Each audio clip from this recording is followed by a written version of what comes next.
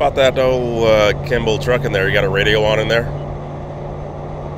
Yes, sir. Go ahead. How are you? And uh, who am I talking to today there? Oh, doing very good. We just left 75 Chrome Shop, so uh, my name's Adam Kimball. 10-4. Well, it's a pretty good looking truck you got there.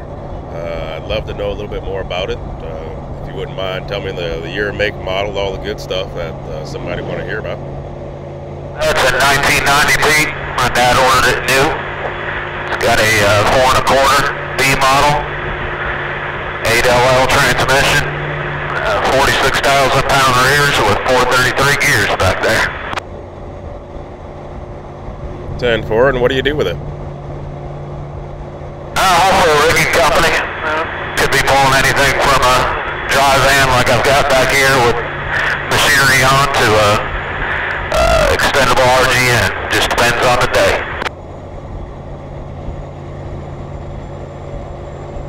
Well, what do you find, uh, what do you do the most of? Uh, I know it said it depends on the day, but what do you find you're hauling most? Yeah, the majority of the time we stay hooked to, like I said, we got about 12 different trailers. Majority of the time we'll stay hooked to Conestogas. Uh, like I said, either hauling machinery or hauling medical equipment.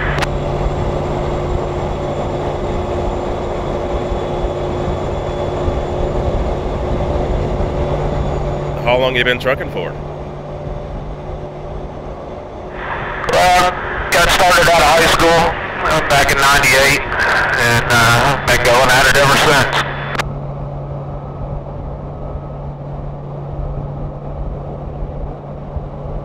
Now, I'm sure when you started, you weren't driving something as flashy as this. What did you find yourself starting in? Uh, actually, my dad, like I said, had ordered this in 90.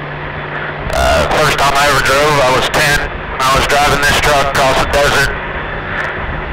Uh, we just kind of swapped seats, and I drove for about 30 minutes. I guess when he figured my hands were sweaty enough, I needed to get out of the passenger seat because I was so nervous. He get out of the driver's seat, excuse me. Put me over back over in the passenger seat. And when I got out of high school, I bought this truck from him, and uh, it was pretty done up. It was black and purple at the time, and uh, back then had fiberglass fenders and things like that on it. So this this was what I was in. Well, I'll tell you what, that's uh, one heck of a story to, to uh, get in the seat at the age of 10. That was a whole different time, a whole different era. And I'm sure uh, you probably learned a whole lot from uh, from your old man there, right? Uh, yes, sir. Yeah. Learned just about everything I know from him. And uh, yeah, I'm sure the military wouldn't have been too thrilled with me driving some of their equipment across the desert at 10 years old, but it is what it is.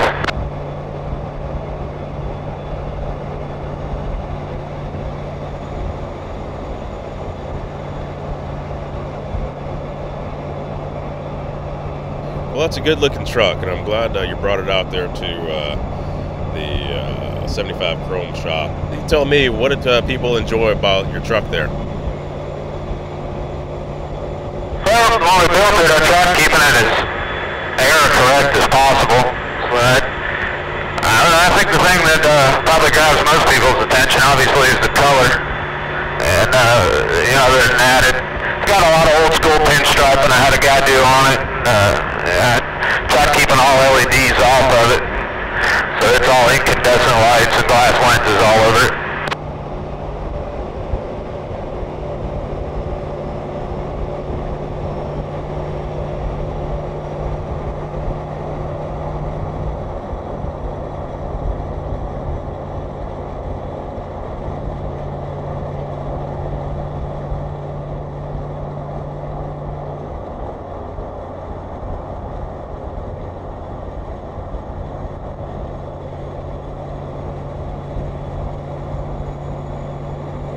Fill me in on the paint. This one actually started life, uh, he had ordered it it was all black, uh, black sable metallic. Uh, when I got in it, I added some purple to it back in 98. Uh, the color it is now is actually a Ford color. It's supposed to be mint green, but I don't know if something went wrong in the mixing or what, but mint green to me is a little bit darker, so we refer to it as seafoam green. Well, that's nice. Yes, sir. It came out pretty good. Definitely grabbed your attention in a parking lot. Well, it sure did. It grabbed my attention. I figured I'd want to come over and uh, get a good look at it and look at some detail work, which I got to do there, and uh, convince you to come out here on the old uh, 75 and look at it at speed. It looks pretty good going down the road. Yeah, it doesn't go very fast with the gears it's got in it, so it uh, definitely give you a chance to get a look at it when it's creeping down the highway. I'm going to get your opinion. I'm going to get uh, your suggestions. What advice would you give to a guy that is a year in and uh, you want to give him some tips in order for him to improve his uh, his driving career and uh, make the best go at it? What would you say to a guy like that? Uh, the best advice I could give to somebody that's been doing it for a year would probably be to, you know, try the best to get hooked up with somebody that's been driving for a while. Uh, didn't just come out of school two weeks before they did. Uh, get hooked up with somebody that, that knows some of the ways that things used to be, a little more of uh, the old school etiquette out here on the highway. And, uh, you know, try getting hooked up with a good company. I know it's hard with, you only maybe having a year's worth of experience to do that, but if you could get hooked up with a good company that, that cares about their image, takes pride in their equipment, uh, maybe run local or regional, and if getting out here on the on the highway and running the country is what you want to do, work into that. But but the, just having somebody there to ask questions that's been doing it for a while, and uh, I think that would be the best advice I could give to somebody.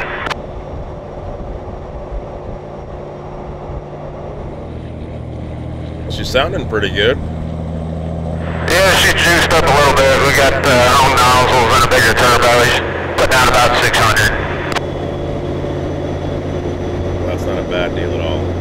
Uh, did I, don't think I asked you what part of the country you run the most. Uh, so where do you find yourself hauling at? Uh, the majority of the time we're just running locally around Atlanta. Uh, most of our rigging jobs are, uh, our equipment is either coming out of Atlanta or going in. Uh, we'll, we receive machinery into our warehouse, then we'll do installs locally around town, or vice versa, taking it out locally and bringing it back to our warehouse, and then it'll ship out from there. Uh, we do have hauls that go, you know, longer. We've got a couple jobs we work in Oklahoma. Uh, we're getting ready to, in two weeks, we'll be heading out to Seattle.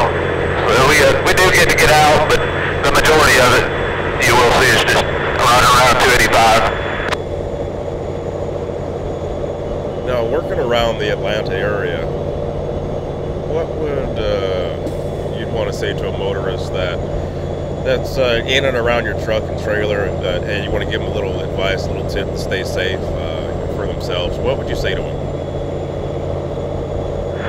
I guess I'd like to have, if I could wish for two things people would do a little more often, and that's, uh, you know, we're downtown, for instance, and you're turning onto a two-lane road, uh, right in the heart of the city, you know, one, one lane of traffic going each direction. You know, we swing out two or three lanes to make a turn.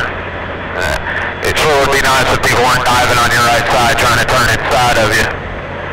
And then other than that, I guess, uh, yeah, it just seems that, I guess it's just everywhere you go in general. Everybody seems to be in a hurry to get nowhere anymore.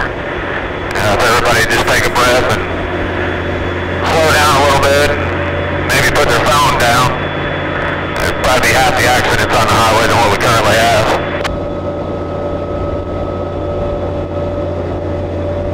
Yeah, that's true. It's so uh, it's so tempting nowadays because social media is a part of everyone's life, and you know you don't want to miss anything, or you get a notification, or you got to check an email, or you got to check your directions and everything else. Uh, but before you know it, you're up on a big big truck, and you know nobody knows anything about what's going on in a big truck, but you guys are out there trying to navigate around other little cars and whatnot. Now, will we be seeing this uh, truck at more truck shows in the future? Yeah, I'd like to get it out a little more. I, uh, I hate taking the time off just to go to a truck show when I could be using that time to spend time with my family, my wife and the two kids. But, uh, yeah, you'll, you'll probably be seeing it out a little bit more.